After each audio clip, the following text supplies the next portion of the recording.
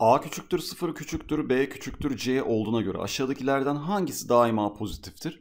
Bakın arkadaşlar büyük sayıdan küçük sayı çıkarsa her zaman pozitiftir. Dolayısıyla E şıkkında C A'dan büyük olduğu için cevabımız bu şekilde pozitif olmak zorunda. C eksi A yani E.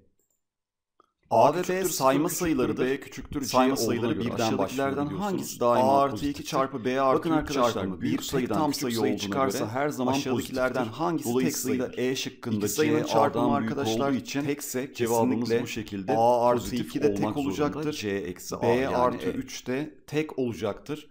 Dolayısıyla burada şimdi ne söyleyeceğiz? A artı 2'nin tek olması için 2 çiftse A kesinlikle nedir? Tek. Aynı şekilde arkadaşlar 3 tek olduğu için B'nin ne olması lazım? Çift. Yazalım böyle unutmamak için. A tek geldi. B de arkadaşlar çift geldi. Buna göre aşağıdakilerden hangisi tek sayıdır? Şimdi arkadaşlar B üzeri A.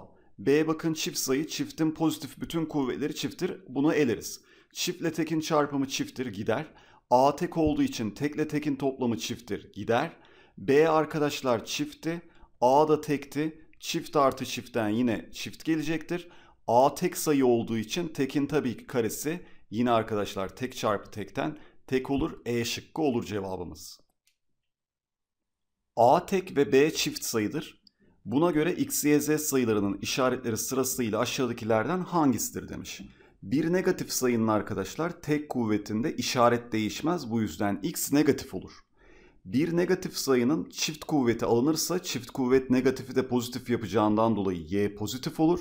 Yine aynı şekilde a artı b birisi tek birisi çift olduğu için tekle çiftin toplamı arkadaşlar tektir. Böylece eksi 11'in tek kuvveti de mecburen negatif olacaktır. Eksi artı eksi yani C şıkkı cevap. Yan yana asıl duran 5 balonuyla oluşturulmuş bir tek çift sayı oyununda balonlar üzerinde birer tam sayı yazılmaktadır. Bu oyunda herhangi bir balonun yeri değiştirildiğinde yan yana duran iki balon üzerinde yazılan sayıların toplamı çift sayı ise balon patlıyor. Yan yana duran iki balon üzerinde yazan sayıların toplamı tek sayı ise balonlara dokunulmadan değiştirilmiş haliyle kalıyor. Önce A balonu D'nin hemen sağına, A balonunu alalım o zaman buradan. D'nin yanına koyalım. Şuraya böyle A yazayım. Sonra arkadaşlar D'nin hemen sağına koyuyormuşuz. E balonunu da C'nin hemen soluna yani dibine bakın E'yi alacağız artık buradan. E de C'nin hemen solunda buraya gelecek. Şimdi arkadaşlar E neydi? Eksi 1 üzeri 1 bölü 4'ün eksi birinci kuvveti nedir? Ters çevirmek demektir. Eksi birinci kuvvet. Dolayısıyla ters çevirirsek 4 olur. Burası çifttir. 20 faktöriyel zaten arkadaşlar 2'den büyük bütün faktöriyellerde çift olacağı için bu da çift olacaktır. E gördüğümüz, A gördüğümüz yere de çift yazalım. Şimdi D arkadaşlar tek. C çift. B arkadaşlar yine tek. Şimdi dikkat ederseniz biz E'yi C ile B'nin arasına koyduk. Burada B ile buradaki E'yi artık çarpınca tek çarpı çiftten ne oldu? Çift. Çift olunca balon patlıyordu. Dolayısıyla bu 1 bölü 4'lü olan E balonu patlatılmış oldu.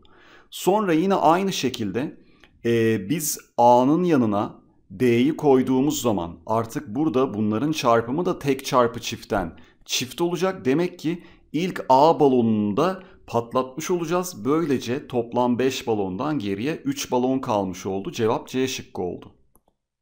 A, B, C, D, E sayıları 2, 4, 5, 6, 10 kümesinin birbirinden farklı elemanlarıdır. Buna göre eşitsizliği için E artı D artı C toplamı en fazla kaçtır? Bir eşitsizliğin arkadaşlar büyüktür sıfır olması için nelere ihtiyacımız var şimdi? Burada bakın A, B, C, D, E'yi bilmiyoruz ama en azından şunu biliyoruz.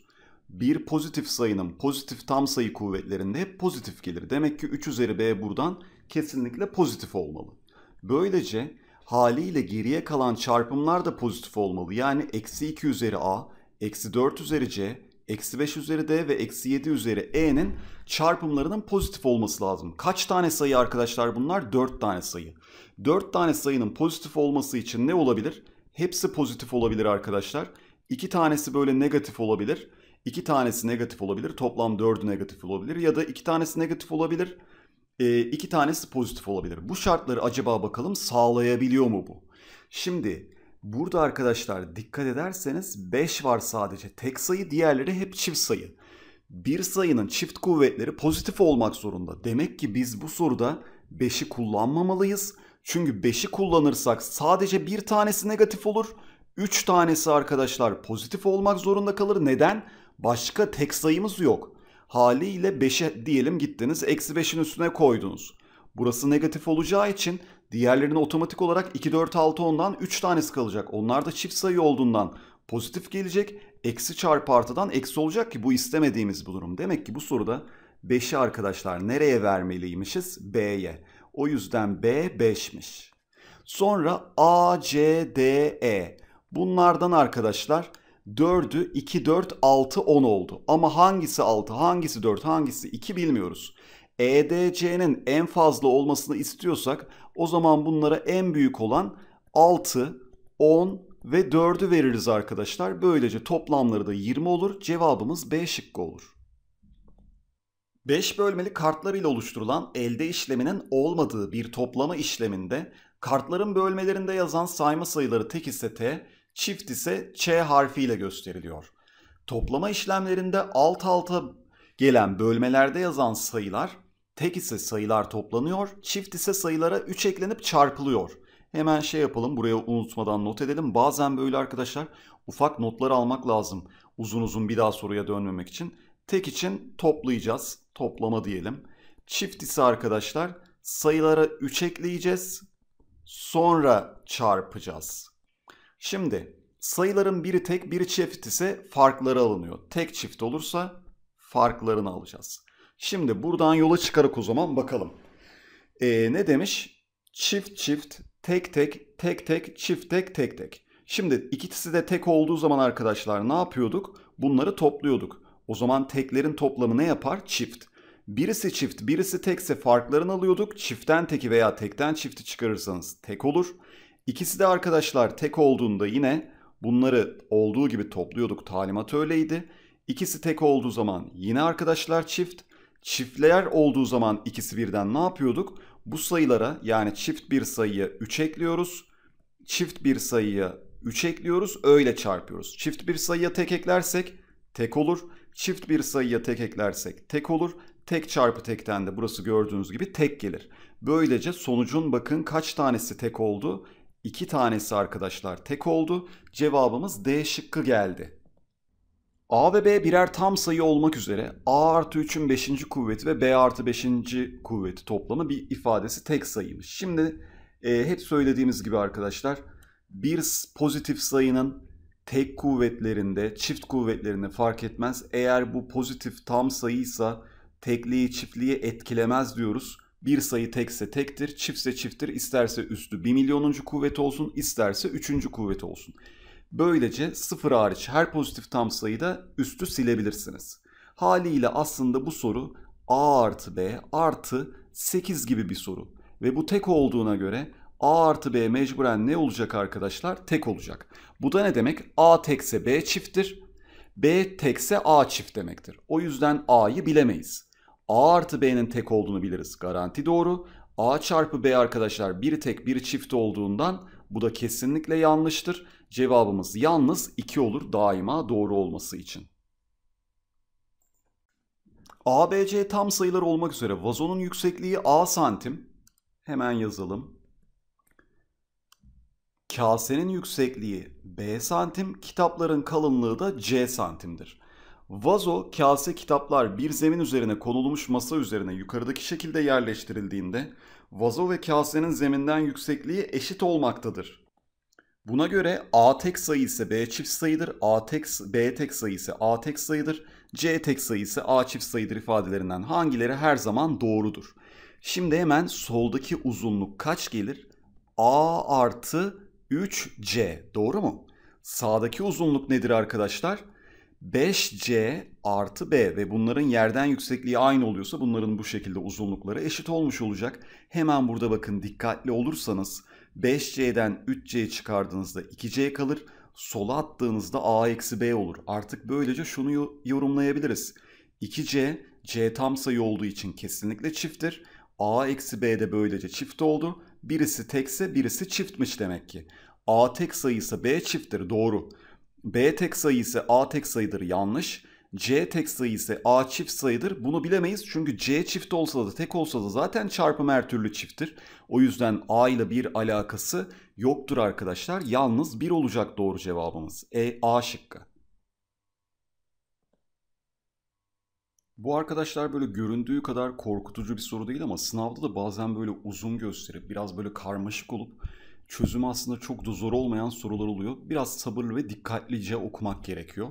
Birinci adımda arkadaşlar işlemleri yapıyoruz. A artı B ve B artı C'yi. Sonucu gidiyoruz ikinci adıma artık geçiyoruz. Sonucunda bu işlemin tek sayısı üçüncü adıma atlıyoruz. Eğer çift sayısı dördüncü adıma atlıyoruz. Eğer e, dördüncü adımda bittiği zaman da artık ekranda ne görüyorsak onu da yazıyoruz. Yalnız diyor ki burada hiçbir zaman dördüncü adıma geçilememiş. Demek ki birden ikiye geçilmiş, ikiden üçe sonra üçten tekrardan bire gidilmiş. Haliyle burada şunu görmemiz lazım. A artı B çarpı B artı C sonucu arkadaşlar neymiş? Tek sayıymış. Tek sayı olduğu için de biz üçüncü adıma geçmişiz. Üçüncü adımdan sonra zaten dördüncü adıma gitmediğimiz için bir daha başa bire dönüyoruz. Haliyle aslında sorunun kritik noktası işte bunların çarpımlarının tek olduğunu görmek. Dolayısıyla A artı B de tektir, B artı C de tektir. Siz arkadaşlar burada taraf tarafı çıkarırsanız B'lerden kurtulursunuz. A eksi C olur. Tekten de tek çıkartırsanız A eksi C'nin ne olduğunu bilemeyiz ancak çift olduğunu bilebiliriz. İki sayının farkı çiftse bunların ikisi birden tek olabilir, ikisi birden çift olabilir.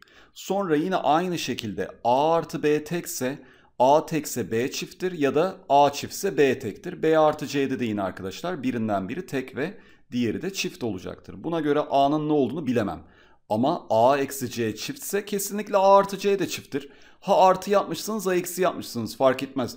İki sayıyı toplayınca tek ol, çift olunca iki sayıyı fark alırsanız tek olmaz. Her zaman çift olur. Eksi de bir nevi çünkü matematikte arkadaşlar toplama işlemi gibidir. Bu yüzden bu evet çift olacaktır. Çünkü a eksi c'yi çift bulmuştuk. Kesinlikle 2 doğru. Ne demiştik? a artı b tek olduğu için birisinden biri tek, birisinden biri çift. Dolayısıyla çift tek ya da tek çift olur arkadaşlar. Doğal olarak çarpımları da kesinlikle ne gelecektir? Çift. Böylece bu da doğru. Cevabımız E şıkkı geldi. Aşağıda çemberler ve kutular kullanılarak oluşturulmuş şekilde çemberler içerisine tam sayılar yerleştiriliyor. Yan yana iki çember içerisinde bulunan sayılar çarpılıyor ve çıkan sonuç ok ile gösterilen kutu içerisine yazılıyor. Çemberlerin içerisinde bulunan sayıların toplamı çift sayı olduğuna göre kutular içerisindeki sayıların en çok kaç tanesi tek sayıdır arkadaşlar. Çemberlerin içinde bulunan sayıların toplamının çift olması için aşağıda kaç tane çember var? 1, 2, 3, 4, 5, 6, 7.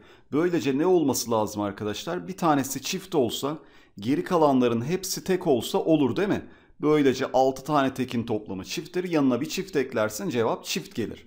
Şimdi bundan sonra böylece yukarıda maksimum tek sayıyı elde ederim. Neden? Tekle tekin çarpımı hep tek olacağı için bakın ne güzel buralar tek olur. En son sadece burası çift olur.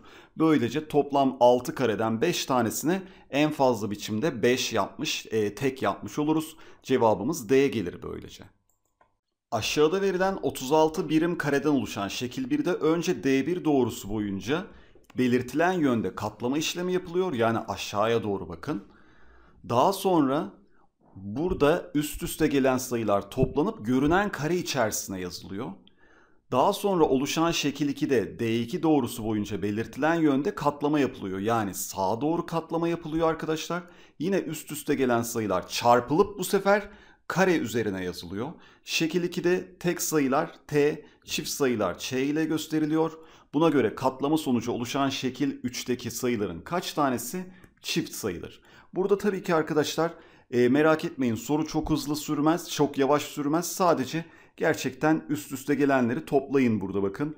Hangileri üst üste gelecek ona dikkat etmeniz lazım. Bunların ikisi üst üste gelir. Bunların ikisi üst üste gelir ve bu iki satırın üst üste geldiğini görürüz. Dolayısıyla en ilk satırla son satırın toplamı olarak düşüneceksiniz. Tekle tekin toplamı artık ne olacak? Çift. Yine tekle tekin toplamı çift. Sonra arkadaşlar burada da bakın böyle çift olur. tek çift tek olacaktır. Çift tek tek olacaktır.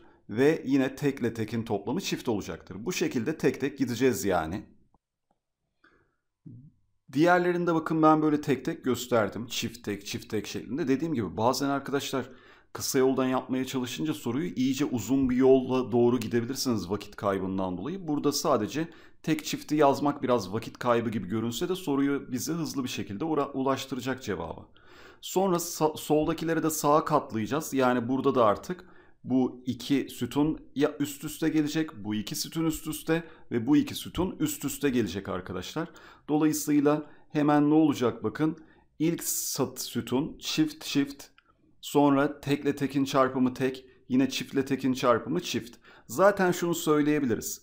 Çiftlerin olduğu yere hiç gözün kapalı hemen çift yapabilirsin. Haliyle çift, çift, buraları direkt çift yapıştırabilirim. Sonra e, geldiğimiz zaman çiftle tekin çarpımı burada yine çift olacak arkadaşlar. Sonra yine e, çiftle tekin çarpımı yine çift olduğu için çift ve en sonunda da çiftle tekin çarpımı yine çift olacağı için çift oldu. Dolayısıyla toplam arkadaşlar gördüğünüz gibi burada 9 kareden 8 tanesi çift sayı olmuş oldu. Cevabımız D geldi.